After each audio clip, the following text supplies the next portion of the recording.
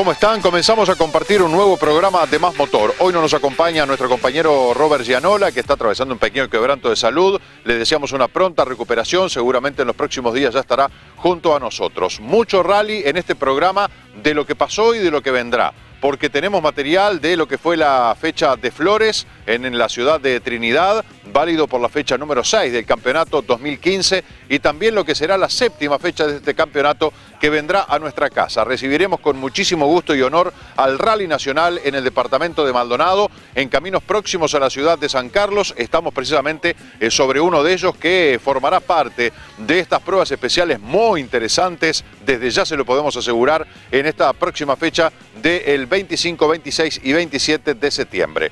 Eso eh, más adelante en nuestro programa, inclusive hablaremos con Rodrigo Ceballos de este tema, de cómo van los preparativos de esta fecha en Maldonado y también de la excelente actuación que tuvieron junto a Sebastián Dota en la última fecha del Campeonato Coda Sur, el sudamericano de rally que se disputó en Santa Cruz de la Sierra, en Bolivia, haciendo podio esta única tripulación uruguaya que formó parte de esta fecha continental y que además los pone de cara a un final apasionante a definirse aquí mismo, en el departamento de Maldonado, que seguramente será sede combinada con el departamento de La Valleja en el Rally del Atlántico en el próximo mes de noviembre. Rally de Flores, fecha número 6 del campeonato del Club Uruguayo de Rally de este año 2015. Vamos a compartir una de las pruebas especiales que registrábamos con la cámara de Julio Rocha.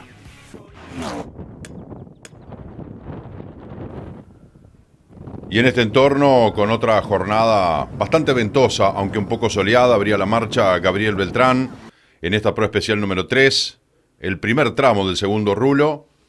Allí vemos la cámara lenta que nos permite apreciar cómo entran barriendo en esa curva a la derecha, acomodando el auto para entrar luego en esa izquierda con una plancha. En la pasada siguiente a esta, Gabriel Beltrán le fue muy mal, le entró mal a la plancha y ahí hipotecó gran parte de su carrera. Marcaba el segundo tiempo en este tramo, Beltrán y Fripp. Aquí viene Fernando Suaznávar, que tuvo un fin de semana bastante complicado aquí el día sábado, marcando el cuarto tiempo Quedaba a 13 segundos 6 décimas del el mejor tiempo de esta prueba especial, que fue para Ceballos y Dota. Aquí los vemos pasar. 7 minutos 26 segundos, una décima. El tiempo para este binomio que terminaría siendo el ganador de esta Rally de Flores 2015. Con la hoja corregida, más rápido, bueno, se le había apagado el auto, lo resetearon, lo arrancaron al final era un problema con la llave de luces del auto de Rodrigo Ceballos que al saludar con las luces se le apagaba el auto. Esas cosas que uno no puede creer realmente. Pasaba Santiago Sigliuti con Wilson Correa a 16 segundos, tres décimas de la punta.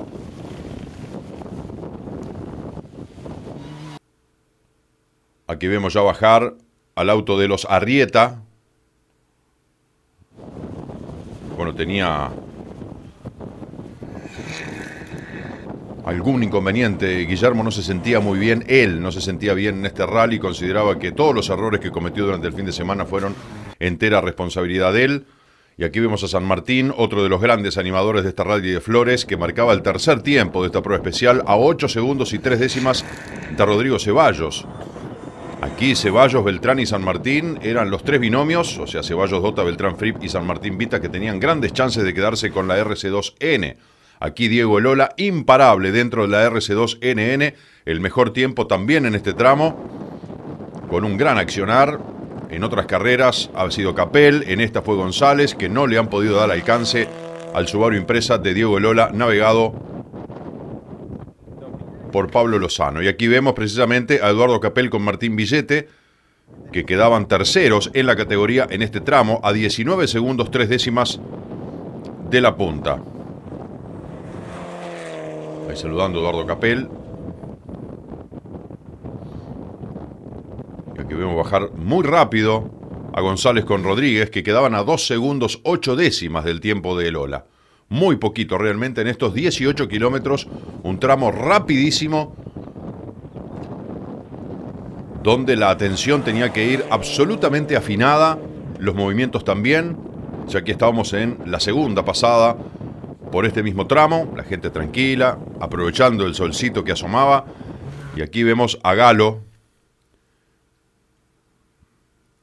Jorge Galo con Beatriz Icardi dentro de la RC4, amplios dominadores del Rally de Flores, primer tiempo en esta prueba especial número 3, en el camino a Las Palmas, con 8 minutos 22 segundos 6 décimas, rapidísimo este Peugeot de Galo, muy bien manejado y muy bien navegado por Beatriz Icardi.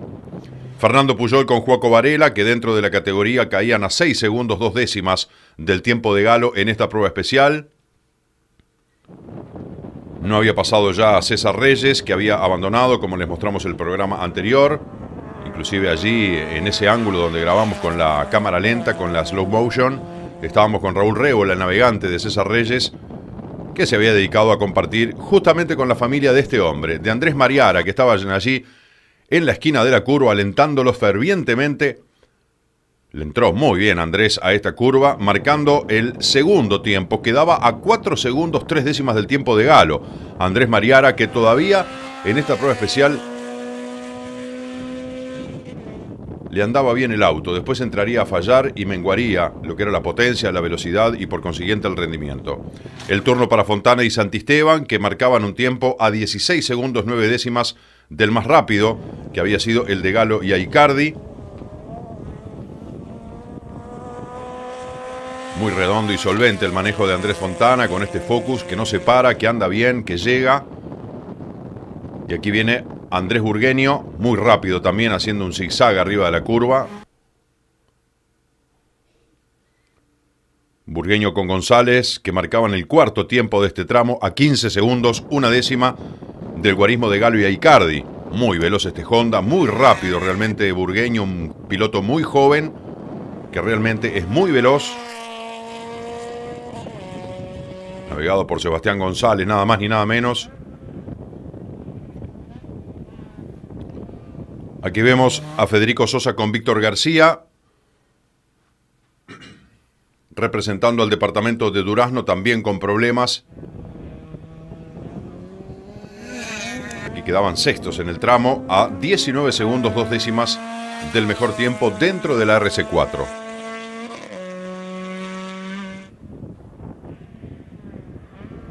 Aquí está llegando Eduardo Bomio, que también con algunos inconvenientes durante el fin de semana, algún golpe que le hacía menguar la posibilidad, incluso en la prueba siguiente lo vamos a ver pasar muy despacio. Lamentablemente, Bomio con Abadí, que padecían problemas en este rally de Flores. Aquí quedaban a 34 segundos 9 décimas del mejor tiempo dentro del RC4. Ignacio Sosa con Estelio Beloni, también otro Honda muy veloz, muy rápido. Ignacio Sosa que va agarrando ritmo.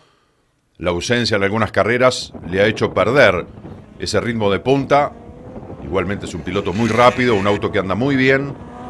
Aquí quedaban a 27 segundos del mejor tiempo dentro de la categoría en esta prueba especial número 3.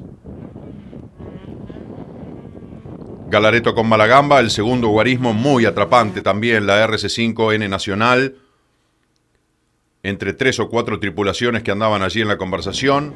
Esta es una, la de Galareto Malagamba, marcaban el segundo guarismo dentro del tramo, quedaban a 11 segundos 6 décimas de el tiempo de punta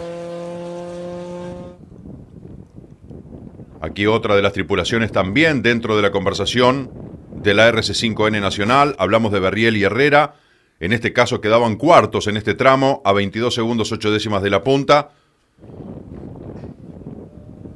Algunos problemitas que padecieron durante el fin de semana, como por ejemplo la alineación que no le permitía desplegar toda la potencia de este veloz Chevrolet Celta y el muy buen manejo de Fabián Berriel y la navegación de Horacio Herrera la gente que se traslada dentro del campo de un lugar a otro buscando la mejor incidencia. A medida que pasan los autos dice vamos para allá que se ve mejor.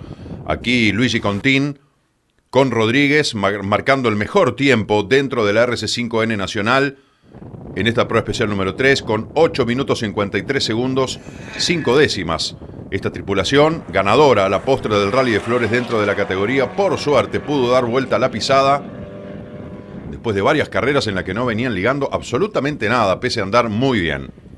Contini Rodríguez era otra de las tripulaciones que estuvo todo el fin de semana animando la RC5N Nacional, así como Luciardo y Vela, eh, que con este gol impecablemente presentado dentro de la RC5N Nacional quedaban con el tercer tiempo a 22 segundos de la punta, que como les decíamos fue marcada por Contín y Rodríguez. El saludo también de Fernando Luciardo, hombre de Jung de donde venimos de disputar la última fecha. Allí gente fanática del rally saludando a las cámaras de Más Motor.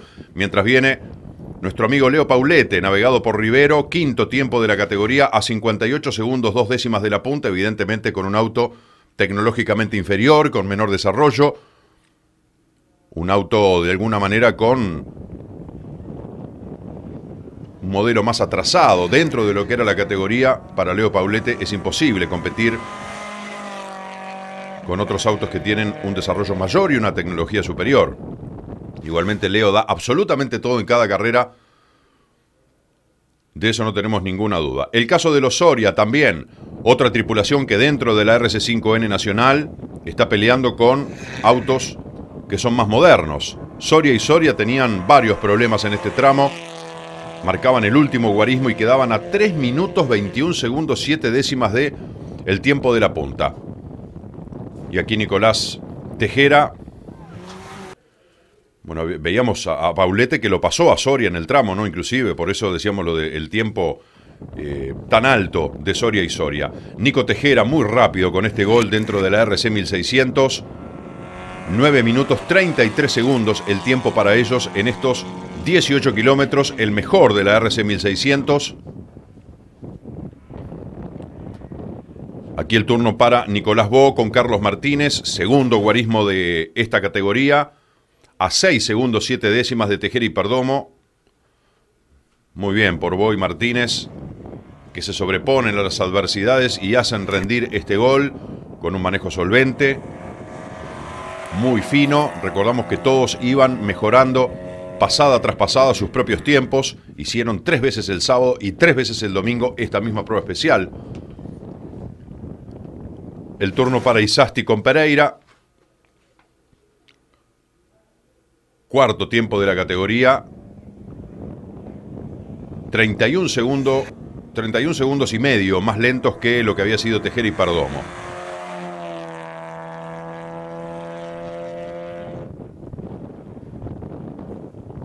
Aquí vemos el Volkswagen Gol también de Federico Sosa con Hamilton Barreto. piloto de Maldonado, que también trabaja intensamente para lo que será el Rally de Maldonado, 25, 26 y 27 de septiembre. Sosa con Barreto marcaban el tercer tiempo en esta prueba especial a 9 segundos 9 décimas del guarismo de Tejera y Perdomo. Aquí el turno para Piñeiro y Villalba a 1 minuto 19 segundos del tiempo de punta en la RC 1600. Un auto que les presentó problemas de carburación, que no andaba todo lo veloz que ellos querían y que evidentemente eso se veía en los tiempos, ¿verdad? Que no podían acercarse más de eso a la punta. Y aquí eh, la última máquina, la de Cabrera con Tamón, allí Rodolfo que hace un semitrompo en esta curva a la derecha, lo domina muy bien, el auto le va y la derecha izquierda, lo vamos a poder apreciar allí en la cámara lenta. Rodolfo Cabrera con Gustavo Tamón marcaban el quinto tiempo de la categoría en este tramo a 32 segundos, 7 décimas. Vean cómo se le va de costado, derecha, izquierda. Una autotracción delantera, muy bien controlado por Rodolfo, que pasa allí por la plancha con el capó semiabierto. Última máquina de esta prueba especial número 3 del Rally de Flores. Les proponemos hacer una muy breve pausa. Tenemos más material de lo que fue el Rally de Flores, también la palabra de Rodrigo Ceballos, la entrevista de los pilotos al final de esta fecha número 6 del campeonato 2015, cuando sigamos en Más Motor.